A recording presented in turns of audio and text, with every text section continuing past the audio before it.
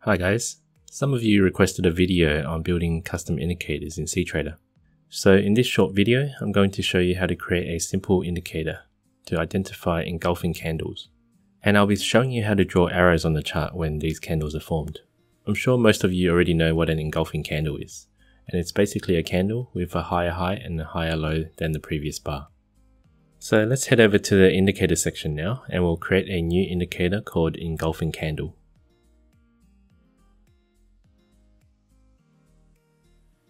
All of the calculations for the indicator goes into the calculate section. So here we can just put if bars.highprices square brackets index, which refers to the current bar of the calculation, is greater than bars.highprices square brackets index minus 1 for the previous bar. And also we want the low of the current bar to be less than the low of the previous bar.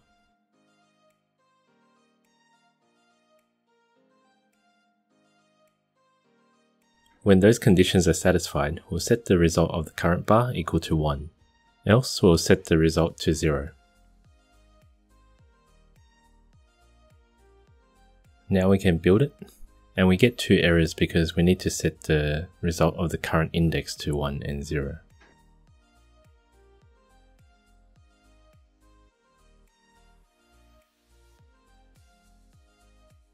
Now it builds successfully and let's see how it looks on our chart.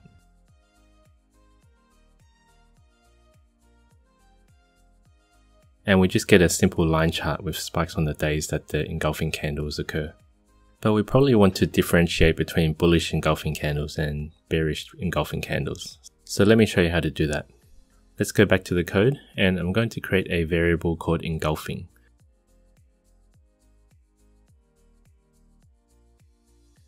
And I'm just going to copy this logic that we've already coded.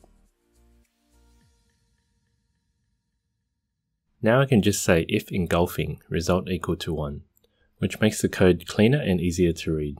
And we can check that it gives us the same result.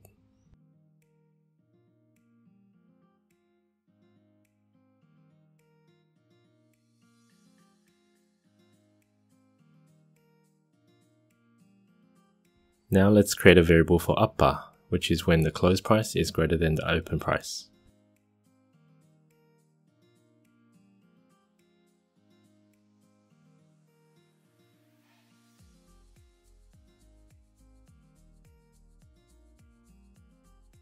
And we'll also do the same and create a variable for down bar.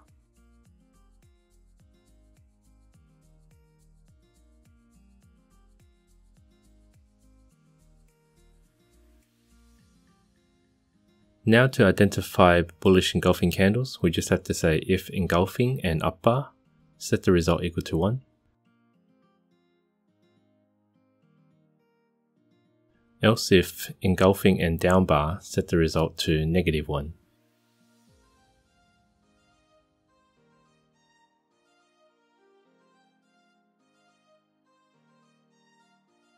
Let's double check to make sure that worked.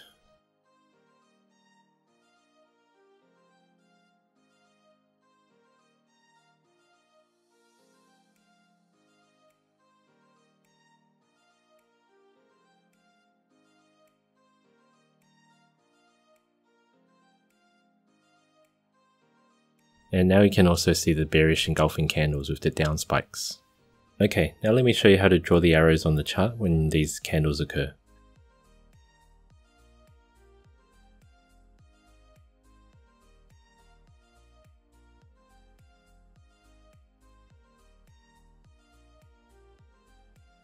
We just want to say if result equals 1.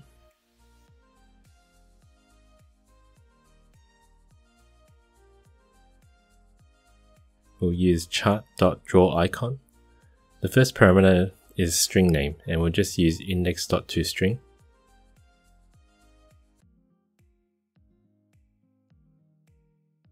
Then we can set the chart icon type to up arrow.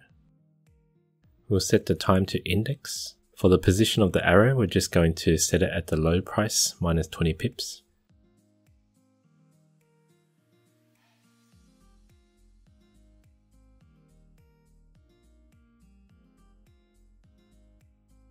And we'll set the color to green. Let's build it to check that it works. And now we have the green arrows pointing to the bullish engulfing candles. So I can delete these ones that I manually drew earlier. Let's just quickly finish the indicator off to draw the down arrows for the bearish engulfing candles.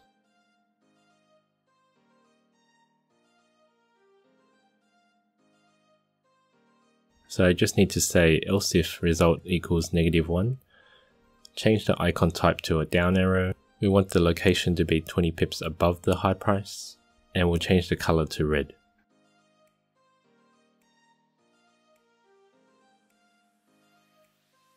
Whoops, looks like we're still using the low price. So let's change that to a high price. And there you have it. We just created our first custom indicator from scratch. Please hit the like button if you found this useful. And feel free to leave any comments or questions below. Thank you for watching and I'll see you in the next video.